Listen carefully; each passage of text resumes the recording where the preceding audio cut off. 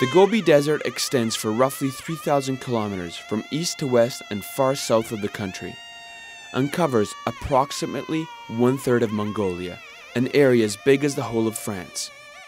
The visitor is struck by the immense variety of landscapes it contains mountains, sand dunes, or clay earth cracked by the strong heat that reigns here.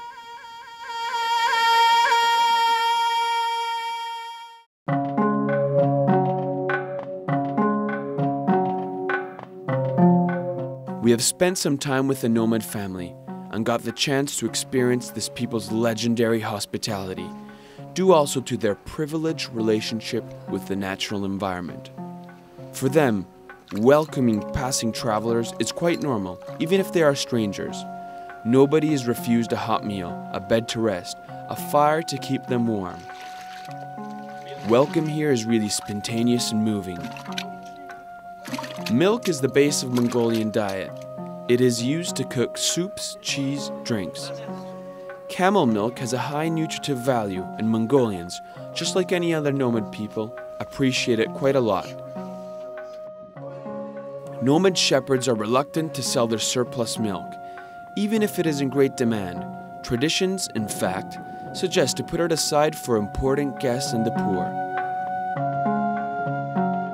Camels provide other means of support. Their dried dung is collected by children and used to light the fire inside the iron stove found in the center of every ger.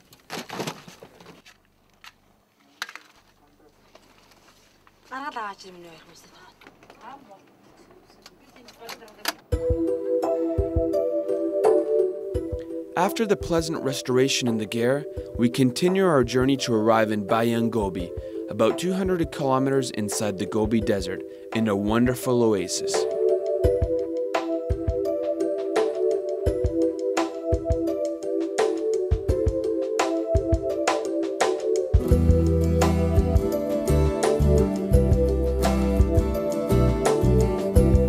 Behind it stands the mountain of Altai chain, mother and protector, that during the rigid winter saves the oasis from the blizzards.